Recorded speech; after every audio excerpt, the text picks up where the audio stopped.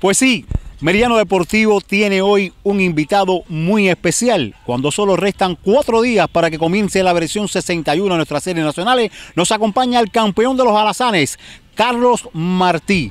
¿Cómo se encuentra el equipo? ¿Cómo está el ánimo? Y ya vemos que se siente un ajetreo tremendo por dar una excelente gala y una excelente inauguración. Sí, Olerio, el equipo, como tú sabes, se ha preparado bien. Hemos tenido un entrenamiento bastante acorde a, la situación que tenemos en este momento. Eh, creo que eh, el equipo no tiene otra opción que luchar para defender sus títulos. No puede haber de que eh, solamente lo importante es clasificar la primera etapa y después en los playoffs salir como lo han hecho en los últimos años de equipo a luchar por, por buscar la cuarta corona para la provincia. Por cierto, es de verdad muy alentador tres coronas en los últimos cinco años. Demuestra mucho el trabajo que se hace desde la base hasta la primera categoría.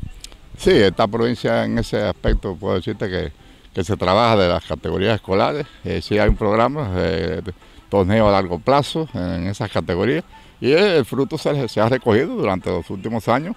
Eh, hay una gran cantidad de muchachos jóvenes, eh, sí, los que están en el equipo en este momento, hay, y muchos que vienen producto de la academia vienen de las categorías escolares, yo creo que sí, que el futuro de, esta provincia está garantizado. ¿Roel Santos estará con ustedes el primer día? Bueno, Roel no lo he visto todavía, hace tres días creo que llegó de México. Me imagino que quizás necesita un descansito como natural. Pero bueno, él es un atleta que es muy voluntario y yo creo que sí, si va ahí, si no está en la, inauguración, pues es posible que esté contra Guantánamo. Un saludo Meridiano. Bueno, Meridiano Deportivo, que lo seguimos todos los días, un programa netamente para los aficionados y para los que nos gusta el deporte y los saludamos de aquí de la tierra de los campeones nacionales. En exclusiva le puede decir a Meridiano Deportivo, por donde se va a enterar toda Cuba, quién va a ser el lanzador abriol. Bueno, estamos pensando que debe estar, entre Leandro Martínez y, César García.